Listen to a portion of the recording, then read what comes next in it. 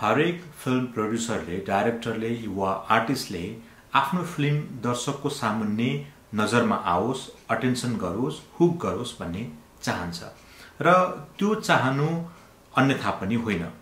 हरेकले एउटा उनीहरूको आफ्नो युनिक वे हुन्छ दर्शकलाई कसरी हलसम्म तान्ने र आफ्नो सिनेमा देखाउने। आज धुर्मुस र सुन्तलिका उपनामले चिनिने सीताराम कटेल र कुञ्जना घिमिरेको सिनेमाको ट्रेलर सार्वजनिक भएको छ।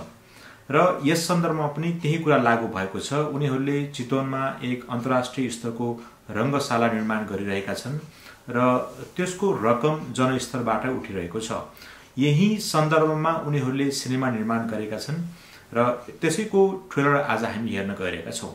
ट्रेलर हेर्नुभन्दा पहिले के कुरा भन्न चाहन्छौँ भने केही समय पहिले हामीले रिभ्यू गरेको चलचित्र साइलीको सन्दर्भलाई यहाँनिर मैले जोड्न चाहेँ। संयोगले त्यो चलचित्रका निर्देशक पनि रामबाबु गुरुङ नै थिए र यो चलचित्रका निर्देशक पनि रामबाबु गुरुङ नै छन्। हामीले यहाँनिर जोड्न खोजेको कुरा के रहेको छ भने दयाहाङ राई नेपाली सिने क्षेत्रका एक होनहार प्रतिभा सुपरस्टार हुन् र उनीलाई लिएर सिनेमा बनाउँदाखेरि व्यापारमा त्यसको गुणमा केही वृद्धि हुन्छ भन्ने उद्देश्यले उनलाई लिएर सिनेमा बनाइने गरिन्छ। तर त्यो लिने प्रमुख व्यक्ति या भनौँ न निर्माण कम्पनीले यो कुरा बुझि नराखेको जस्तो हामीलाई लागेको छ कि दयाहाङलाई लिइसकेपछि उनको स्टारडमलाई युज गरेर उनलाई प्रायोरिटी दिएर र आफू सहायक भएर निर्माण गर्नु पर्नेमा चलचित्र शैलीमा पनि गौरव नै मुख्य कलाकार भएर आफू खेलेका थिए र यसमा पनि सीताराम कटेल र कुञ्जनाको भूमिका प्रमुख रहने गरी यस्तो खालको चित्रित गरिएको पाइन्छ पोस्टर्सहरूमा। अहिले भर्खरै हामी यहाँ ट्रेलर हेर्न गएका छौँ र ट्रेलर सम्बन्धी केही कुरा भएमा फेरि हामी यो प्रसङ्गलाई जोड्नेछौँ।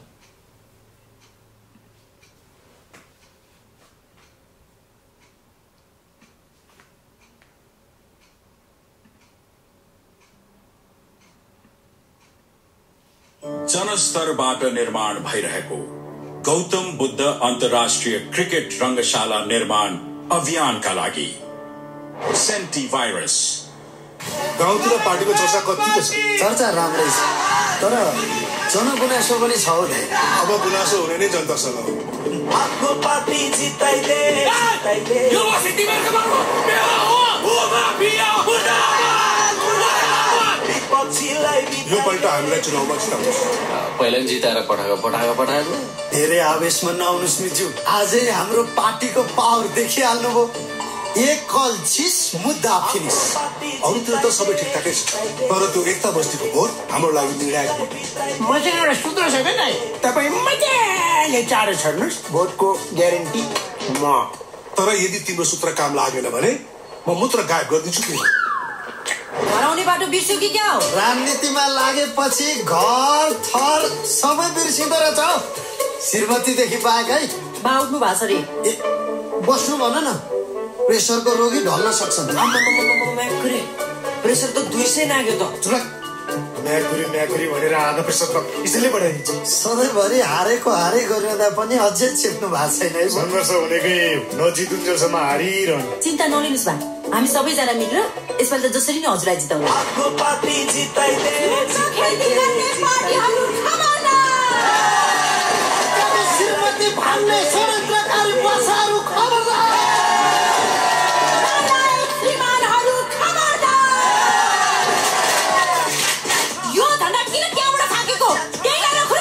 म तिम्रो निजी श्रीमान हुँ।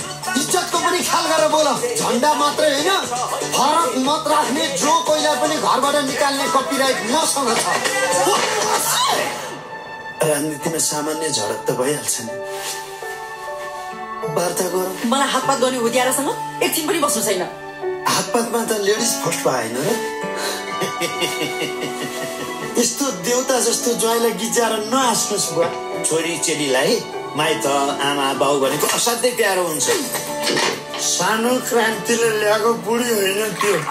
विपक्षीको कब्जाबाट भगाएर ल्याएको राजकुमारी हो मेरो बुढी। त्यसै कसरी छोड्नु? त्यसो पार्टी छोड्नुहोस्। बरु श्रीमती फेर्न सक्छु। पार्टी फेर्न सक्दिनँ भनेको थिएँ। सिद्धान्त भन्दा बलियो श्रीमती हुँदो रहेछ तपाईँहरूको बस नियम कानुन र विधि पुर्याएर आफ्नो नाममा पालिसक्नु भएको छ बस्ती पसेको भएको पे होइन मेरो बाउ मान्छेले उहिले नै गौचरको लागि नुन छर्केको जग्गा हो त्यो। तेरो बाजेले नुन छर्यो होला मेरो बाजेले सुन छरा जग्गा हो। बस्तीवालाहरूलाई मेरो विरुद्ध भड्काउने तपाईँको यो रोग एकदमै हानिकारक छ। साला माफिया! सक्सेस भने मेरो छातीमा डोलर चला। चला डोजर!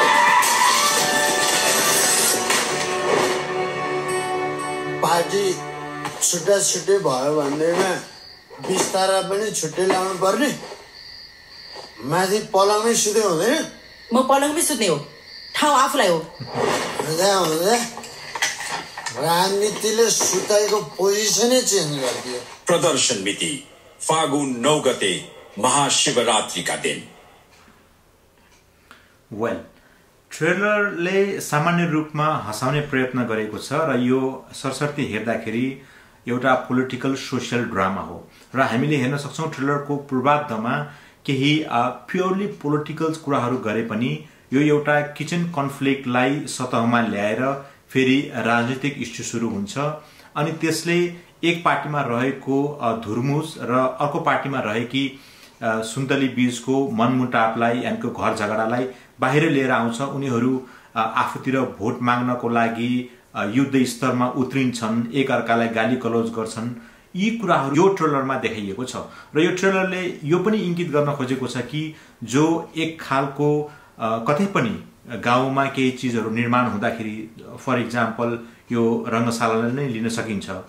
गर्दाखेरि केही खराब तत्त्वहरू त्यहाँ आएर त्यो हाम्रो ज सम्पत्ति हो हाम्रो जग्गा हो र यसमा यी बस्तीहरूलाई हटाउनुपर्छ गाउँलेहरूलाई हटाउनुपर्छ भनेर जो खराब तत्त्वहरू फेरि आउँछन् र त्यसको विरुद्धमा लड्नको लागि गाउँका केही राम्रा युवकहरू राम्रा सोच भएका मान्छेहरूले त्यसको प्रतिकार गर्छन् र अन्त्यमा आफ्नो स्वामित्वको जमिन आफ्नो स्वामित्वको सम्पत्ति चाहिँ आफ्नो नियन्त्रणमा लिन्छन्। भन्ने जो हामीले परम्परागत हिसाबले सिनेमाहरू हेर्दै आइरहेका छौँ त्यसैको कन्टिन्युटी जस्तो लाग्छ। सो अब हाँस्य कलाकारहरूले निर्माण गरिरहेको चलचित्रहरूले सफलता पाइरहेको छ। यसै सन्दर्भमा यसै छेकोमा म पनि हात सेकिहालु भन्ने हिसाबले निर्माण गरिएको जस्तो देखा पर्छ।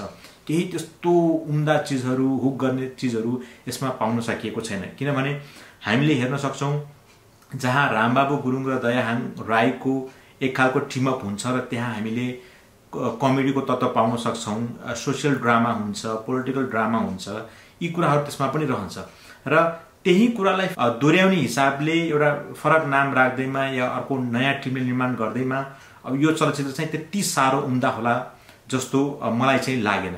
त्यो हिसाबले सामान्य यसले मनोरञ्जन दिन सक्छ। यसमा चाहिँ अलिकति अब दयाहाङको त्यही एउटा सिग्नेचर रोल जस्तो भनौँ न जहाँ प्रत्येक डायलगले उनले हँसाउने प्रयास गर्छन्। ती कुराहरू राखिएको छ। अर्कोतिर विक्रम विल्सन राय पनि छन्। त्यस्तै गरेर बुद्धि तामाङ पनि छन् र खलपात्रको रूपमा यहाँ सन्दीप क्षेत्रलाई पनि हामीले देख्न पाएका छौँ। सो ओभरअल यो एउटा राम्रो कुराको लागि बनाइएको सिनेमा हो फन्डिङ जम्मा गर्नको लागि र चाहिँ क्रिकेट रङ्गशाला निर्माण गर्नको लागि। त्यसको लागि त अल द बेस्ट राम्रो पैसा उठोस् राम्रो पैसा कमाओस् चलचित्रले त्यसको केही पर्सेन्टेजहरू त्यसमा जाने भनिएको छ।